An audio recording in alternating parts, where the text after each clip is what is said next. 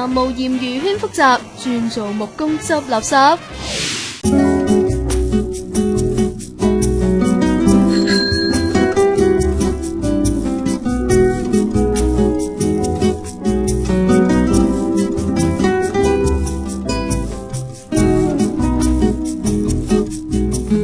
點解嚟到火車站嘅？係咪可以唔使踩搭火車翻台北啦？你就想啊，其實帶大家嚟到呢一度係想講俾大家聽，sport 嘅我哋其實都有文藝嘅一面嘅，想知有幾文藝入去睇就知嘅啦。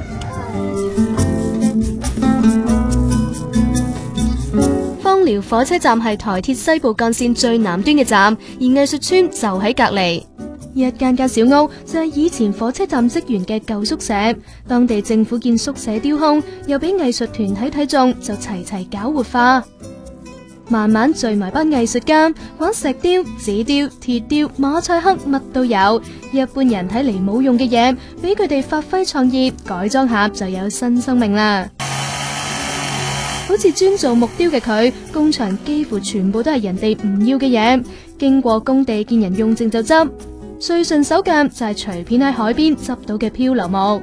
它有天然的那個就是腐蝕的狀態，它腐蝕狀態，這個就是我们最需需要的，我们最想要的，因为这个不是我们能创作出来的，这是大自然给我们的一个创作品。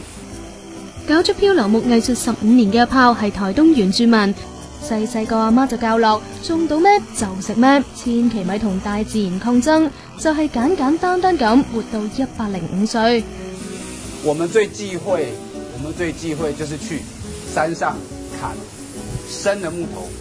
那我們最多仰赖就是山上的枯木。那颱風天飘到河床或到海邊，拿回來去做建築。唔係亂咁做噶，好似呢個木桶就係以前喺家鄉用嚟裝種子噶啦。阿炮希望藝術品可以保留兼承传文化。事關搞創作之前，佢入過娛樂圈做 model，嫌太複雜而離開。由五光十色嘅大都會翻返家鄉，先發現城市化一直沖走傳統文化。好似咁樣燒木屑，原來可以驱蚊，又有幾多城市人會知道啊？阿炮就話仲有個心愿。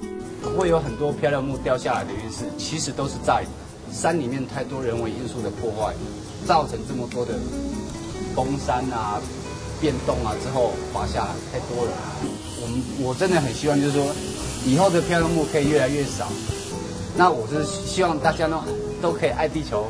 我哋都想愛埋一份㗎，不過拎腳咁危險，不如都係玩翻小手工啦，都可以展示藝術氣息嘅。哎，非常漂亮，對對對，各有特色。想知點整？繼續睇。